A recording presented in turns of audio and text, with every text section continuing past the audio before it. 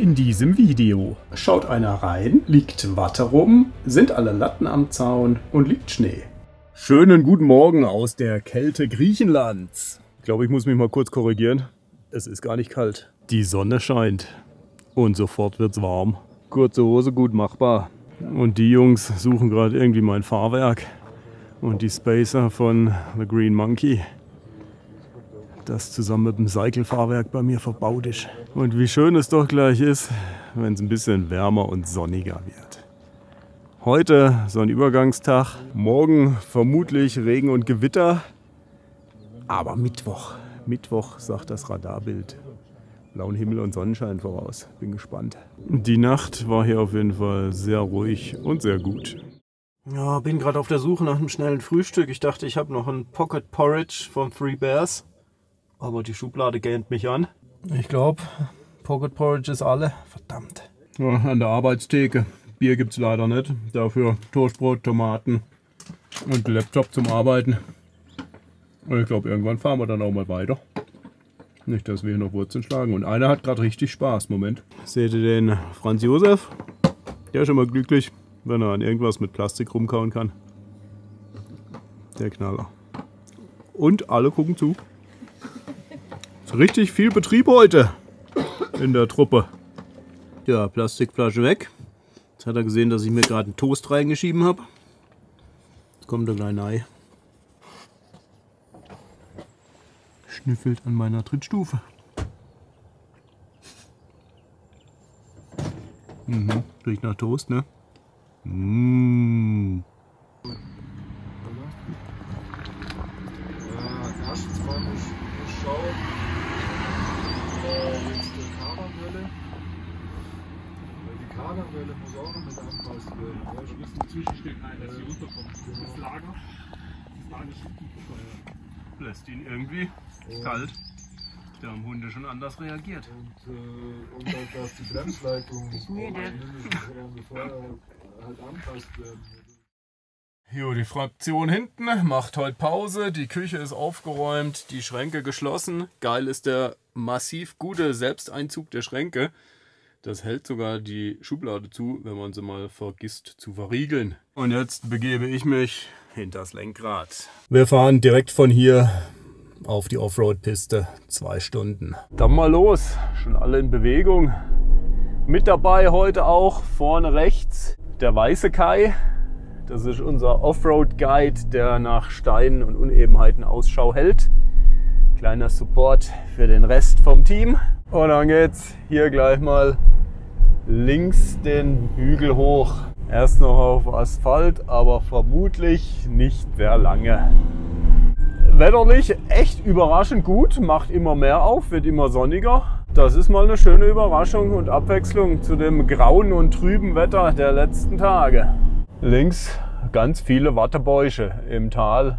Übel Wolken und Nebel. Wir sind 1500 Meter hoch. Wir folgen dem Höhenweg immer wieder mit Blick nach links ins Tal, an Abhängen vorbei über recht gut fahrbare Schotterpiste. Links geht's halt hier und da immer mal wieder ein bisschen steil bergab. Man muss also gucken, wo man hinfährt und wie man fährt. Auch Steine und Geröll liegt immer wieder rum, aber immerhin begleitet uns dauerhaft die Sonne heute. Plötzlich dann mal kurz ein Abschnitt Wald mit Bäumen und Waldboden, bevor es dann wieder keine Bäume gibt, dafür freien Blick und dann gibt es auch mal eine fette Überraschung. Erstens steht da eine Rampe und ein Megamobil und zweitens stehen plötzlich alle irgendwie ganz komisch. Es gibt ein kleines Fotoshooting, dann muss man ja nutzen, wenn es mal eine schöne Aussicht gibt. Das eigentlich Überraschende ist aber, dass wir hier in einem griechischen Skigebiet gelandet sind. Wir unterfahren den Tellerlift und machen uns auf den Weg zur Talstation des Gebiets. Wir fahren also praktisch irgendwie auf der Skipiste. Unten alles noch relativ neu und schön angelegt.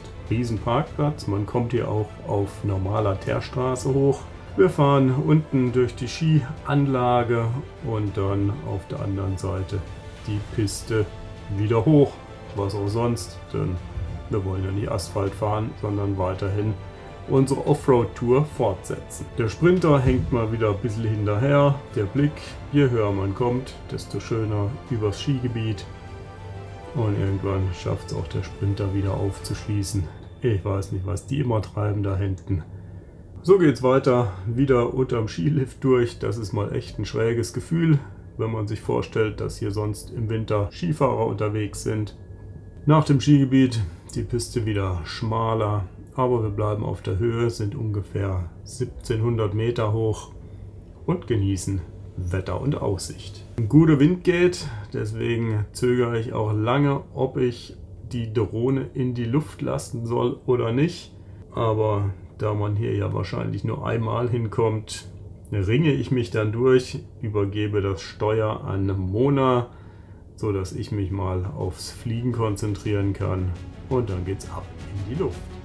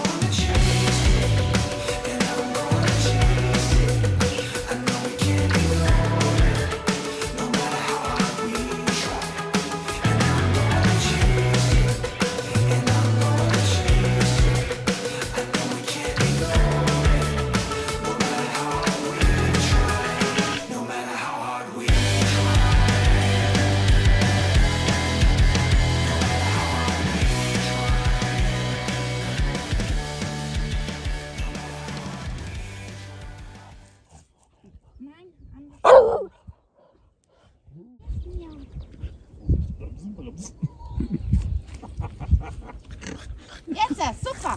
Und hopp. Brennholzbeschaffung. Alle gucken zu und einer schafft. So wie immer halt. Kurze Pause auf 1800 Metern. Fünf Kilometer liegen noch vor uns. Dann sind wir wieder auf Asphalt. Die Sonne kommt raus und eigentlich ist uns eher zum Weinen zumute. Die Truppe geht jetzt getrennter Wege. Alex und Tini fahren so langsam gen Heimat. Der Sprinter begleitet sie noch. Die kommen aber dann nochmal zu uns. Wir sagen Tschüss zu euch. Vielen Dank. Ciao, schön wart ihr dabei. Hat echt Spaß gemacht. Oh ja, der Karla, äh, der Franz Josef natürlich nicht vergessen. Und Tino und ich, wir fahren jetzt auf den Berg und bleiben hier.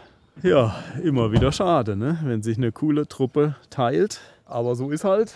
Manche müssen halt irgendwann zurück, wir auch. Aber jetzt fahren wir erstmal hier auf den Berg. Tino hat schon mal gedreht. Und da geht's jetzt rechts den Berg hoch. Er grinst schon so. Du grinst so. Macht gleich wieder Spaß. Brauchen wir eine Hinterachssperre? Vielleicht. Ja. Ich dreh mal. Da geht's jetzt mal etwas übler der Berg hoch. Wir haben die Hinterradsperre aktiviert und gucken mal, ob wir da hochkommen. Ohne Problem. Ja, ey, das gibt's doch nicht. Da dreht noch nicht mal ein Reifen um. Nüt. Das geht wie geschnitten Brot. Da hinten links stehen die anderen und gucken jetzt wahrscheinlich neidisch. Und wir fahren hier komplett tiefenentspannt jetzt über Graswege. Das Schlimmste ist hinter uns. Ah, das ist echter Wahnsinn. Reifen, Fahrwerk und Allrad. Grandios. Immer wieder grandios. Ui, hier liegt auch einiges an Holz rum. Und hier geht's nochmal links ums Eck und auf die Spitze. Wir treiben es auf die Spitze mal wieder. Wollen ein Lagerfeuer machen. Genial. Absolut geil. Ha, da haben wir. Aber ganz schön windig. Schön hier oben, aber sehr windig. Wir fahren wieder runter. Da ist weniger Wind. Oh, was für ein geiles Panorama. Das ist schon wie aus dem Bilderbuch hier in Griechenland. Hätte ich mir nie so vorgestellt. Griechenland bisher immer nur Sand und Strand gesehen, sonst eigentlich weniger. Das Land hat mehr zu bieten. Es herrscht ein bisschen Planlosigkeit. Wir wissen nicht so genau, wohin mit dem Wind vor allem. Wollen nicht so voll in der Möhre Wind stehen. Deswegen fahren wir jetzt mal noch ein paar Meter weiter. Und so hangeln wir uns über echt üble, ausgewaschene Lehm- und Erdpiste wieder weiter runter ins Tal. Und wenn wir wüssten, was morgen passiert, wären wir echt froh, dass wir es jetzt fahren und nicht morgen. Dennoch ganz schön anstrengend, auch für die Autos. Man muss höllisch aufpassen, wo man hinfährt. Am Ende suchen wir uns einen kleinen Spot entlang des Weges. Viel Verkehr dürfte nicht sein und bleiben stehen. Also ich sag mal so, ich glaube, wir haben es nicht ganz schlecht getroffen hier. Wir sind ein deutliches Stück tiefer als vorhin und haben auch nicht mehr so viel Sturm. Dafür aber auch weniger Sicht. Aber man kann ja bekanntlich nicht immer alles haben. Aber ich habe jetzt erstmal einen ziemlichen Hunger. Jo, mal schnell auf der Induktion ein Free Bears Porridge zubereitet. Oh. Nicht so laut sagen. Verdammt. Zu laut. Zu spät erkannt. Da gucken sie schon. Haha, aber zum Glück kann ich mich weiter nach hinten zurückziehen mit meinem Essen. Da kommen die zwei Bananen nicht hin. Mann, wo ist jetzt Essen? Da steht noch eine Küche. Stellen wir es mal auf den Tisch. Äh, Löffel.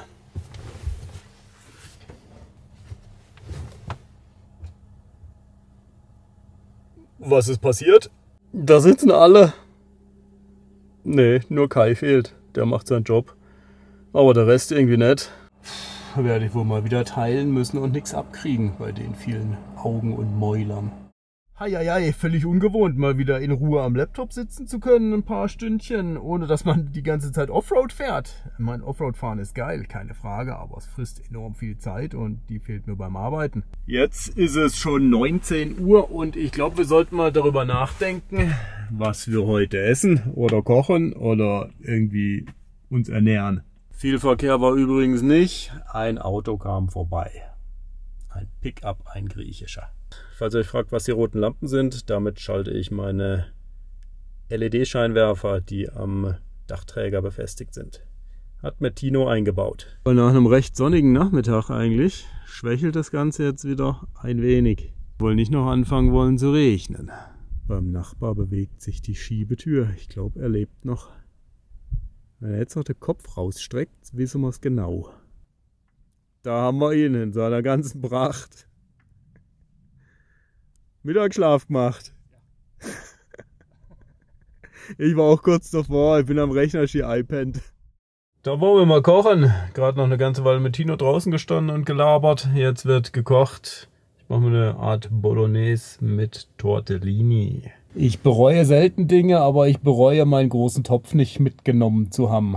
Den habe ich damals bei der nächtlichen Packaktion nicht untergebracht und der fehlt mir jetzt. Das kleine Ding ist mein größter Topf und das ist irgendwie nichts Gescheites. Und irgendwie ist hier immer zu wenig Platz und ich vergesse, dass ich hier noch einen riesen Auszugtablar habe. Da sollte ich mal öfter dran denken und es nutzen.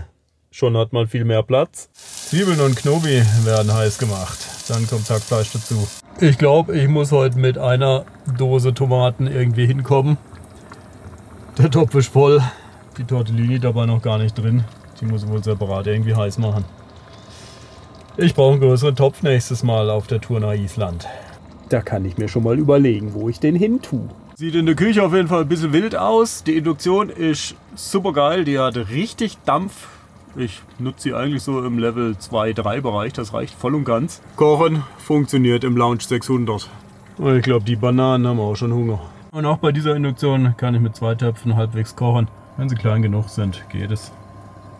Tortellini mit ein bisschen Wasser nur gesteamt, gedämpft und nicht vollwertig mit Wasser bedeckt gehabt. Geht genauso gut, wenn man Deckel drauf tut. Jetzt heizt sich nochmal kurz die Soße richtig auf und dann gibt's Essen. Ich habe auch leichten Hunger.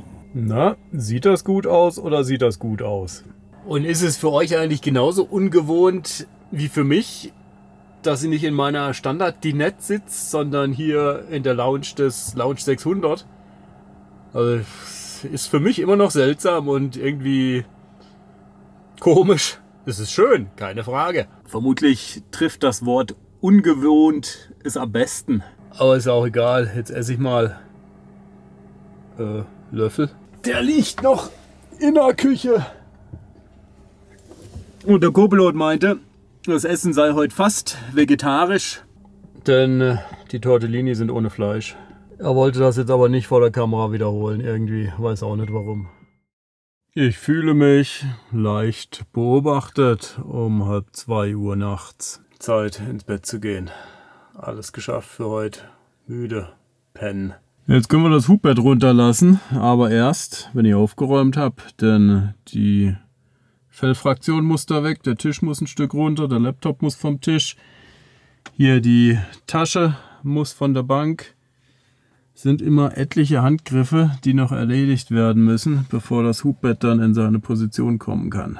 Und wenn das Hubbett dann unten ist, dann liegt der dicke Co-Pilot mittendrin. Unglaublich. So, liebe Leute, das war's für heute. Paar Stunden schlafen, morgen geht's hier weiter. Lasst einen Daumen hoch, wenn es gefallen hat. Abonniert gerne den Kanal. Vielen Dank fürs Amazon-Partner-Link verwenden und den PayPal-Support. Das freut uns immer riesig. Vielen Dank. Und jetzt bis zum nächsten Video. Ciao zusammen.